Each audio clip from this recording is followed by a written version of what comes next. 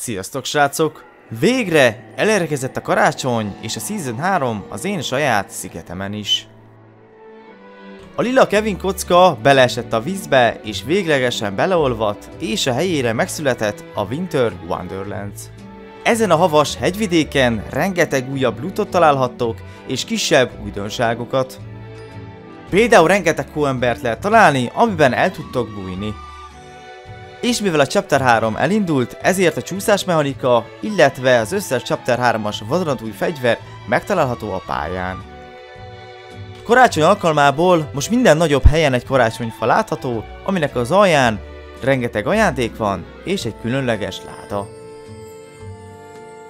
Az NPC-k is hatalmas változáson mentek át, ugyanis eddig az NPC-k ugye nagyon sok memóriát használtak, viszont ezek kilettek cserélve player reference-re, így mostantól 17 NPC találhatok a szigeten.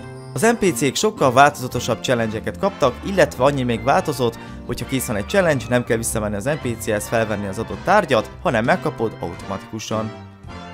Igen srácok, jól látjátok, mítik, fegyverek, illetve tárgyak is bekerültek a játékba.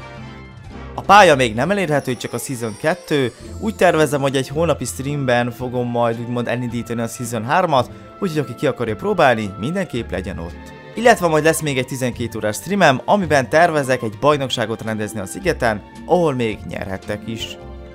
Hát srácok, ennyi lett volna ez a mai videó, ha tetszett, akkor dobjatok lájkot, illetve iratkozzatok fel, még nem vagytok. Találkozunk holnap a Season 3-ban. Én Ghost voltam, sziasztok!